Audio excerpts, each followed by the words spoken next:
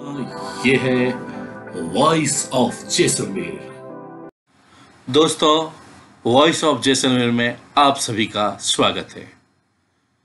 जैसलमेर के पास के अनेक सरोवर के बारे में हमने आपको जानकारी दी। आइए चलते हैं एक और सरोवर के बारे में।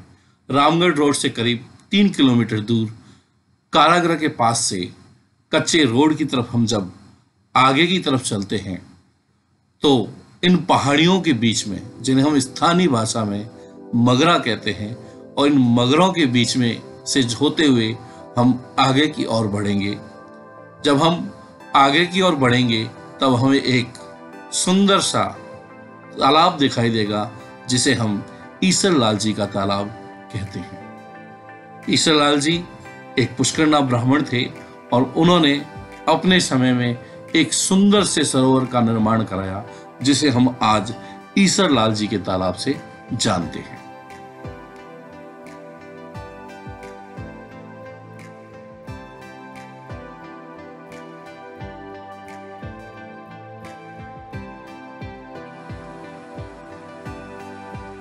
पहाड़ी के ऊपर एक सुंदर सा आराम ग्रह बना हुआ है।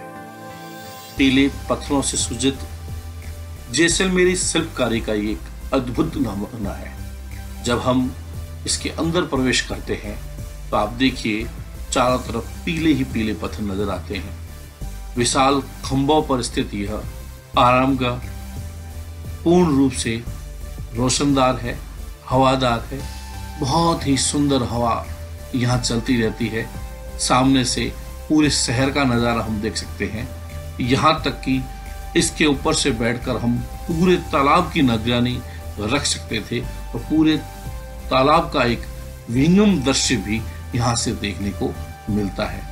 ऊंचाई होने की वजह से यह अपने आप में बहुत ही सुंदर, बहुत ही रमणीक बन जाता है। सामने जो हमें दिखाई दे रहे हैं, यह जो इसके बंद है, जो स्वयं पीले पत्थर से बने हुए हैं, ये पूरा का पूरा बंद या पूरा का पूरा घाट जिसे हम कह सकते हैं, पक्का घाट है और कलात्मक रूप से बहुत ही सुंदर है।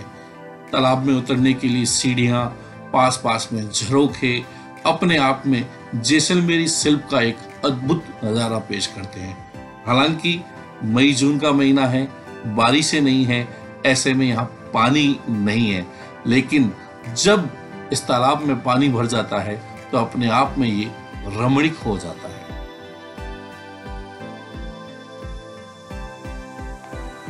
ईश्वर तालाब के ही किनारे पर स्थित है।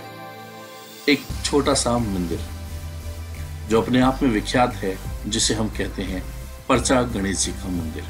शहरवासियों की अटूट आस्था का प्रतीक।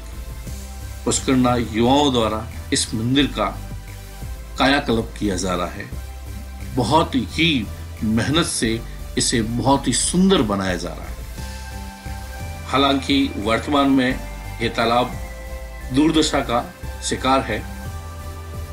और हम अपनी इस विरासत धरोहर को संभाल नहीं पा रहे हैं। लेकिन अगर हम इसको संभालते हैं, इसका संरक्षण करते हैं तो ये अपने आप में एक रमणीक है। वॉइस ऑफ़ जैसे में प्रयास करेगा कि जब इसमें पानी आ जाएगा, तब भी हम आपकी उत्तम छटा को दिखाने का प्रयास करेंगे।